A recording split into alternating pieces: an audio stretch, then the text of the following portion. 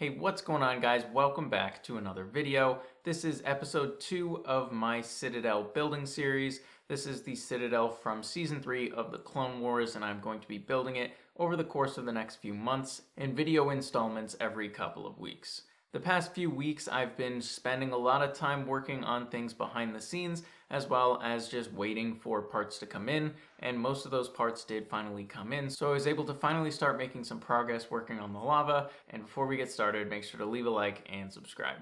So with all that said, let's get right into it.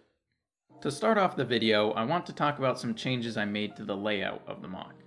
I had my friend Jack, or Hydrave, over, and we talked about my original plan and came up with a better one. As you can see, I drew up some new concepts and changed the layout quite a bit. The first thing you'll probably notice is the extraction zone isn't visible from the front, and I also made the rock face go the entire stretch of the build. I did this because it better captures the canyon feeling and also gives me more separation between the climbing section and the Citadel Tower, and this will basically just make the tower seem larger because it's not so close to the minifigures.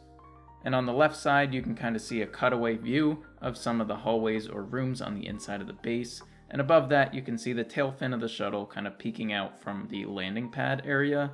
And over on the back side, you can see the extraction zone is now its own section with a cliff face behind it, and the base interior continues on to the back.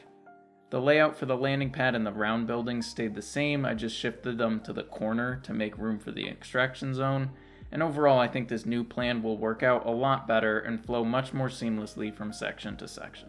So as you can see, I changed the layout of the bricks to kind of show the new plans for the MOC. Starting over on the right is where the ascent is going to be. This is the climb where they have the electro mines that they have to kind of dodge. So it's going to start over here, and then that is going to be the entrance with the ray shield and stuff.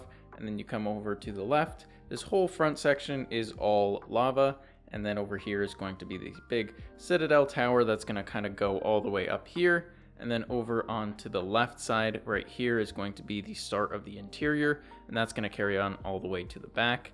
And then above that is going to be where the landing pad is with the shuttle and the cargo crates and everything like that. And then to end is going to be way in this back corner with the extraction zone. So this is going to be in its own separated area, and I think this layout is going to work out a lot better. So I've just gotten in this package. This is from Light My Bricks. This is going to have a bunch of flickering effects for the lava to make it glow, as well as some lightsabers and battery boxes. So here you can see everything out of the package. The reason I bought the flicker effects boards is so that I can have some flashing, kind of shimmering, glowing lights underneath the trans yellow pieces, which is going to make the lava look more organic. And then I picked up a few additional lightsabers just so that everybody in the MOC can have a light up lightsaber. This next package is actually from my friend Firebird Bricks, and it's about 2,000 of the trans yellow 1x2 bricks. He knew that I was planning to use these bricks for the lava in my Citadel MOC, and he had a bunch of them left over from his Christophsis, so he messaged me and we were able to work something out, and I'm super excited to have these in. This next package is the larger of two Bricklink orders that I made for the Citadel. So this has the vast majority of the parts that I bought for the landscape and stuff like that. So as you can see, the majority of the pieces are in that dark purple color. And then I got a few accent pieces with the medium lavender. So my plan is to use dark bluish gray as the majority color and then I'll go in and add in some of the purple for just pops of color here and there. And when you look at Lola Sayu from the air, you see mostly purple with a huge chunk of the planet being that trans yellow kind of color. So I did pick up some tiles here for the border as well as some bright light orange plates, which I want to kind of mix in. So I'll see how that works. And then I got a hairpiece that I want to try and use for Captain Tarkin here. And then obviously here are some gear pieces. These I'm going to try and use for the motor functions of the MOC. So pretty happy to have this in and this is definitely going to help me out with bringing some more color and vibrance to this MOC. And finally, the last Bricklink order has arrived. This is going to be mainly the trans yellow plates for the lava.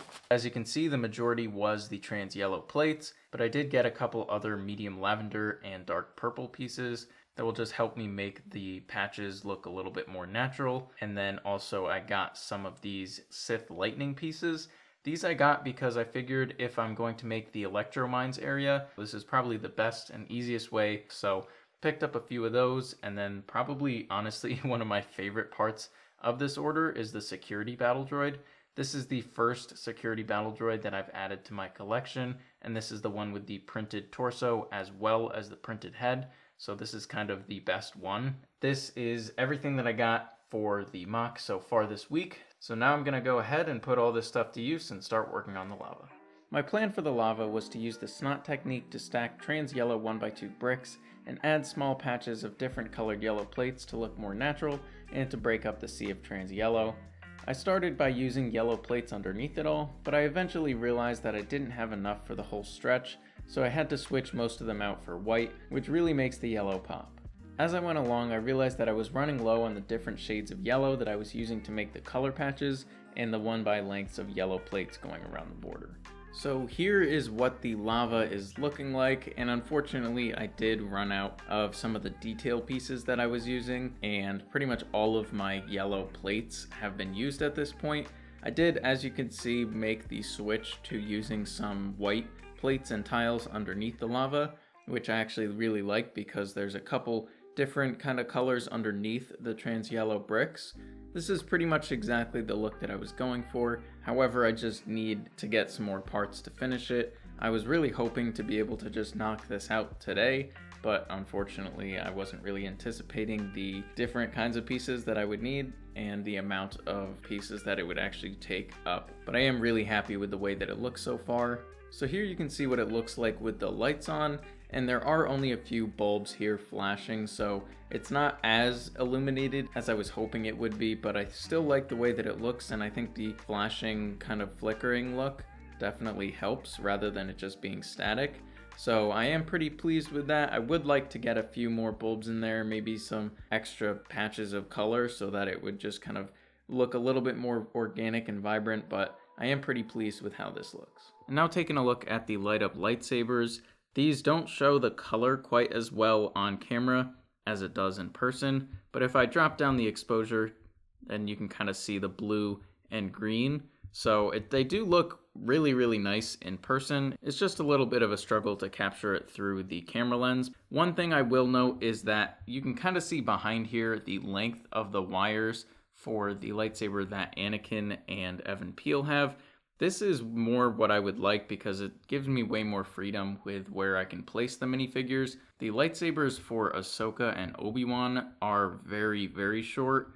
This was a mistake that I made when I ordered these from Light My Bricks. I picked up the 5 centimeter cables instead of the 20 or 30 cables that came with the first two that I bought. And so this is something that I'm probably going to try to remedy. And hopefully if I can get that sponsorship sorted out with Light My Bricks, then they'll be able to send over a few extra ones for me to kind of mess around with. So this is what those light up lightsabers look like. And they do definitely add in a nice amount of color. And especially around the surroundings, you can kind of see the reflection of the lightsabers showing on this gray base plate, as well as obviously on their faces. So definitely glad to have these in as well. Alright guys, that is going to wrap up episode 2 of Building the Citadel. Unfortunately, I wasn't able to get as much progress done as I was hoping to. I did get some stuff done behind the scenes, but you guys weren't really able to see any of that. I mean, you can kind of see behind me, I did get this shelf set up, but as far as the MOC goes, really the only thing I was able to get into was starting on the lava, and then I ran out of parts pretty fast with that. But I do have all of the purple pieces now for the rest of the MOC, so I'm going to start working on hopefully the Citadel Tower, maybe work on some of the rocks and stuff like that, or the inside of the base. So there's plenty of stuff that I can do from here on out. This was kind of just the waiting period of just waiting for parts to come in and just kind of getting my footing and starting out on the MOC. So now that I've been able to start, I have a jumping off point from here and hopefully the next video will have way more stuff to look at. So thank you guys so much for watching and if you made it this far, Make sure to leave a like, it really helps out the channel, and subscribe if you guys are interested in following the process of the Citadel being built. But that's all for me, so thank you guys so much for watching, and I will see you all in the next video. Goodbye.